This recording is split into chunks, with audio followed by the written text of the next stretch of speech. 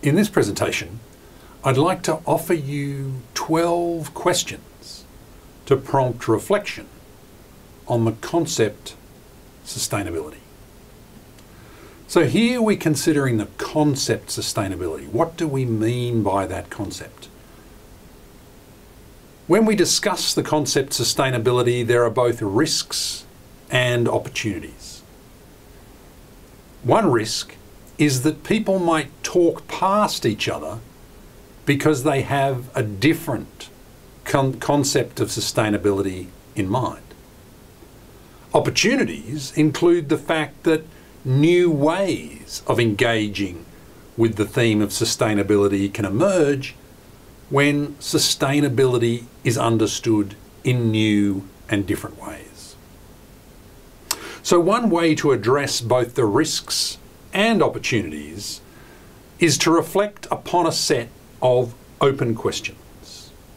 And importantly, this reflection can be done at any scale and on any topic. Thus, I offer you the following set of open questions.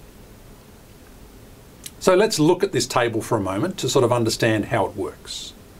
Across the top, we have is, is not, ought, ought not. And down the rows, we have what, how, and why. This is a powerful set of conceptualizations because we can explore the concept of sustainability using this matrix. So let's look at these questions. What is being sustained? What is not being sustained? What ought to be sustained and what ought not be sustained? So that starts with the what set of questions. But now we can move on to the how questions. How is it being sustained? How is it not being sustained? How ought it be sustained? And how ought it not be sustained? Now, there's some ambiguity in that last question, so we can understand that last question as how should it be ensured that this is not sustained? So notice that we have the opportunity to think about what and how. And this gives us the opportunity to unpack a number of examples, real world cases, in which the concept of sustainability is being employed. And finally, there is the why set of questions. Why is it being sustained? Why is it not being sustained? Why ought it be sustained? And why ought it not be sustained?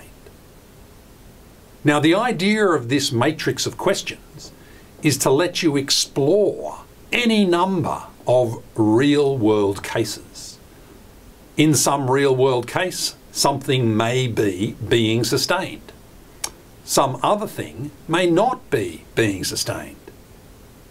And importantly, the thing being sustained may not be something you want sustained. It might be something that you don't want sustained. So notice that this use of the word sustained allows you to explore any number of cases, to explore what is the case, what is not the case, what is what, what ought to be the case, and what ought not be the case. So some things in life persist, and you may not want them to persist. Other things are not persisting, but you do want them to persist. So notice that this matrix gives you an opportunity to explore how sustainability as a concept can be applied in any number of cases. So, rather than assume what sustainability means for any person, the thought here is to invite reflection on these 12 questions. Furthermore, the thought is to undertake this process without any expectation of what specific answers will emerge. The idea being that what sustainability means will emerge out of critical reflection on context, assumptions, perspectives, experiences, and values. Now, importantly, sometimes discussion about sustainability is undertaken whereby the the participants in any discussion might have a set idea of what sustainability means, but someone else might have a different understanding. So, by exploring this set of questions, you can do it by yourself or you can do it in a group. The idea is for us to start to unpack all the different ways that the concept sustainability might be being used. We might discover that we're talking past each other when we use the concept sustainability, and that's good to know because then we can refine the way we use it such that we can talk to each other meaningfully. Alternatively, it might be that new ways of understanding sustainability emerge as a result of reflection on these questions or discussion among people.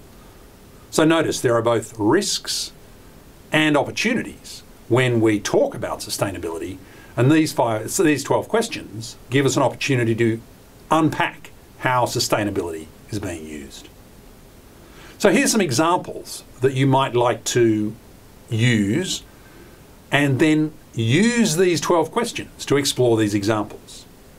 For example, consideration of the healthcare system would involve reflection on the sustainability or unsustainability of that system or some part of it.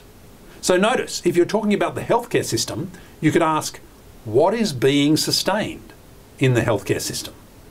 These might be things that ought be sustained, or they might be things that ought not be sustained.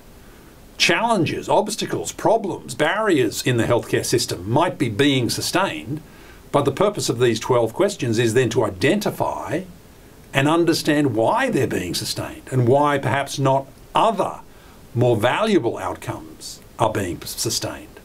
Or alternatively, consider the transport system.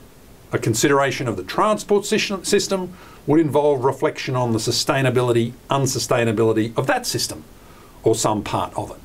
So notice we can look at features of the transport system, maybe the use of single passenger vehicles, and say, is that something that is being sustained?